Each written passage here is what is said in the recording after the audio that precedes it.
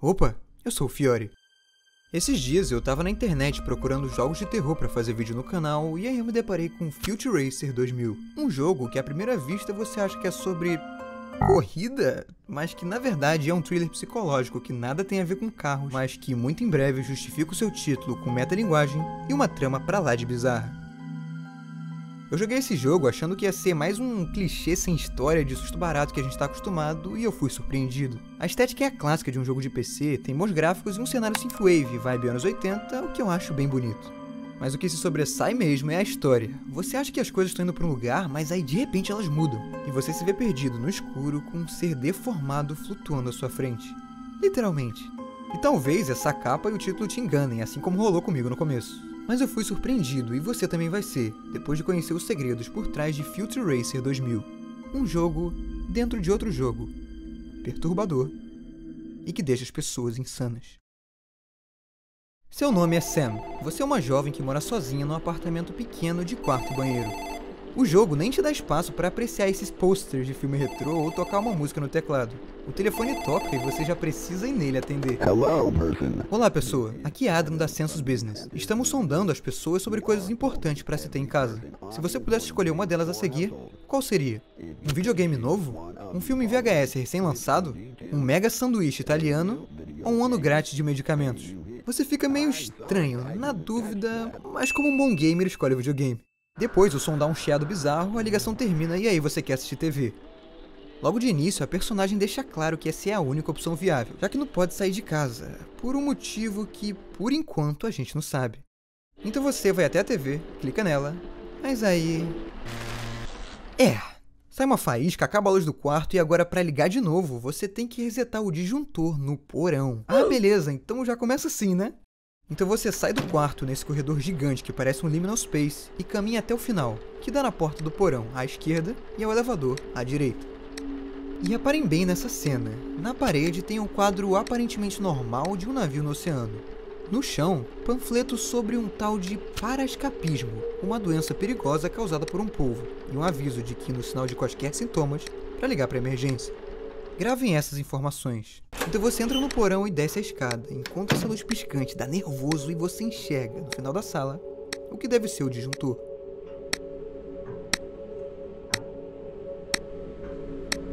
Abre a portinha, puxa o botão para cima e luz acesa.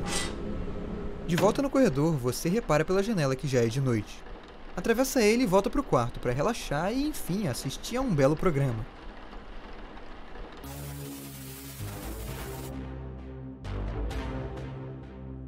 Pera aí, mano, eu falei belo programa, que porra é essa? Cara, eu amo esse programa. Mas é melhor dormir um pouco. Ok, né? Deita lá e tenha bons sonhos.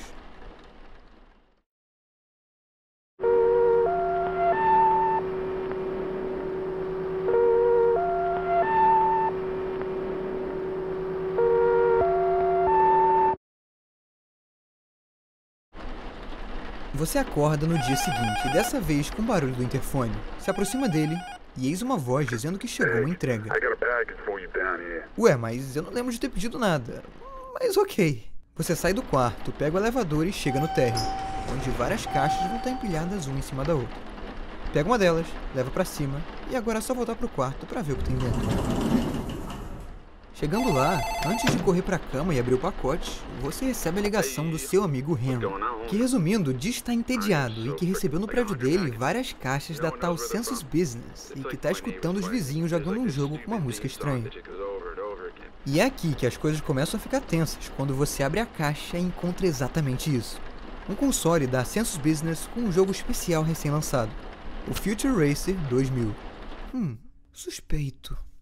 A Sam ainda enfatiza que a caixa lembra papelão, mas na verdade é feita de calcário, e também diz que o objeto tem cheiro de mar e que tem uma estranha brisa oceânica saindo dele. O que pode dar errado, né? Vamos testar. Então você deixa tudo pronto e liga a TV. Até que a luz acaba de novo. Mano, vou te falar, essa vida de aluguel é difícil. De novo, de volta pro quarto, você vai testar o jogo.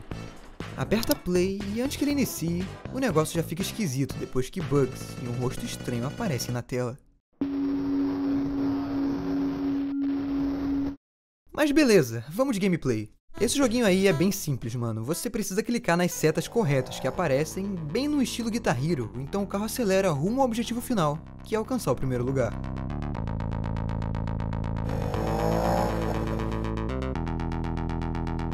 Uau, você chegou em primeiro, você é o Future Racer 2000. Depois da jogatina, que pra gente passou rápido, mas que pra Sam parece que demorou bem mais tempo, tem uma mensagem na caixa postal. Seu amigo Henry de novo fala que tá entediado, que odeia maçã, mas tá comendo mesmo assim, e que não resistiu e vai testar o jogo novo. Também, na caixa postal, seu vizinho Bob reclama do barulho excessivo na noite passada. Ah, mano, que barulho! Então você vai pra cama e, mais uma vez, um sonho estranho.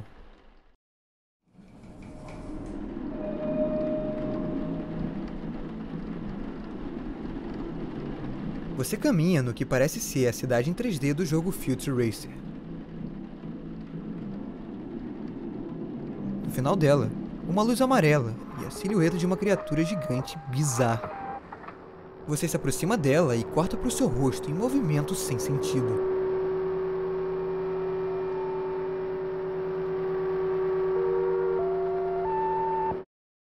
Beleza, que merda foi essa? Se não bastasse, você ainda acorda no meio da noite para bater o próprio recorde no joguinho do carro. A partir daqui, dá pra ver que tem algo muito errado nesse jogo e que o buraco é bem mais embaixo do que a gente imagina. Mas relaxa que piora. Na manhã seguinte, você acorda com o interfone e na possibilidade de ser o Henry lá embaixo pedindo para entrar. Atravessando o corredor, você vai reparar num cara parado, olhando para a janela.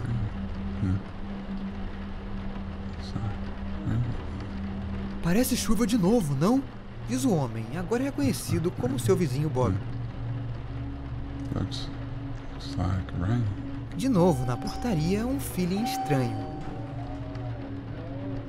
Você checa a janela enquanto ouve sons bizarros, enquanto parece ter algo na neblina. Eu deveria deixar ele entrar. Não, não deveria não. De volta pra cima, o Bob desapareceu.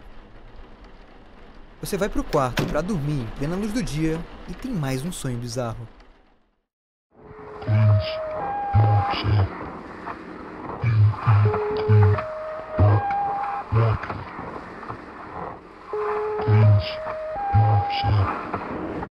Ah, mano. Seu sono curto e desnorteado logo é interrompido por alguém batendo na porta. Se você vê pelo olho mágico, vai notar um homem esmurrando a porta com a própria cabeça, e que parece ser o vizinho Bob. Como se não bastasse, o telefone toca. Tem mensagem do Henry pedindo para ligar. Sam, as coisas não estão certas. Eu fui no corredor e tinha alguém batendo na minha porta. Era minha mãe, tinha o rosto e a voz dela. E eu sabia que não era ela, já que ela não é viva desde os meus oito anos. Se você receber qualquer ligação minha no futuro, sabe que não sou eu. Obrigado por ter sido uma boa amiga, Sam. Então o Henry desliga. E agora só vai te restar tentar bater o próprio recorde no Future Racer 2000. Mas aí você já sabe, né? Nesse momento, você tem que ir pro porão, agora numa escuridão suprema. Chegando perto da porta, uma criatura horripilante passa na sua frente, junto com o barulho de coisa caindo e um corpo sendo puxado pelo breu. No porão tá difícil de enxergar, e você precisa alterar o estado de visão na tecla F, que deixa a tela roxa e te ajuda a andar no escuro. Essa parte é tensa, você tem que prever o caminho até o disjuntor, usando memória fotográfica do porão, enquanto pode ter algo escondido no escuro, prestes a te atacar. Na fé em Deus, você sobrevive, acha o disjuntor e acende a luz. Até que...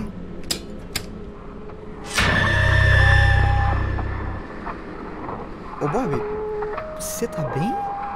Limpe-se na água escura cristalina. Uh, é melhor voltar lá pra cima. Você corre sem olhar para trás, chega na porta, mas ela tá trancada. Só resta voltar atrás e procurar outro caminho de volta pro quarto. E sim, o Bob sumiu. Ele certamente entrou nesse buraco e você vai ter que entrar também. Lá dentro, você caminha um pouco, até dar de cara num corpo em decomposição e aparentemente infectado por uma doença. Nas notas em cima dele, a despedida de um homem tomado pelo mal pela insanidade e pelo estranho desejo ao mar e à brisa do oceano. Você continua, segue os corredores até dar num labirinto cheio de estantes e escuta algo se remexendo em algum lugar entre elas. Bloqueando a passagem, eis uma criatura bizarra, de onde vêm os barulhos e que, por sorte, tá presa em alguma coisa. Nessa hora, mano, você tem que dar a volta e encontrar a porta do escritório, o lugar onde você, na fé divina, vai conseguir fugir. Escrito na parede, o naufrágio é a salvação, junto com vários móveis bagunçados e mais um corpo infectado pela doença dentro do banheiro. Na parede do outro lado, a porta que vai te tirar dali. Mas tem um detalhe: falta encontrar a chave, que por sinal está escondida num balde lá nas estantes, como você vê nessa foto. Então você volta para lá, encontra o balde e pega a chave, enquanto o bicho bizarro some no escuro. Mano, corre, entra, pula na porta e mete o pé daí. Agora você pode voltar para o quarto e completar o objetivo final do jogo, que é bater o miserável recorde do Future Racer. Então você sobe o elevador, anda até o apartamento e clica uma última vez na TV.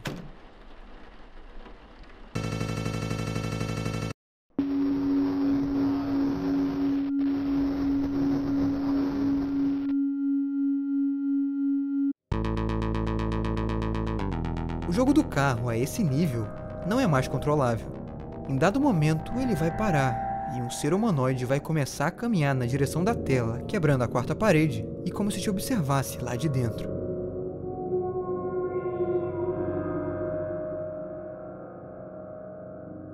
Quando você menos esperar, aquilo já não é a TV e aquele já não é mais o seu quarto. Você vira para trás e caminha entre paredes feitas de pele, num espaço apertado e sinuoso, até dar de cara num corredor escuro com uma porta no final. Atrás dela, um oceano vazio. Um corpo deformado à deriva, que é logo puxado para a escuridão.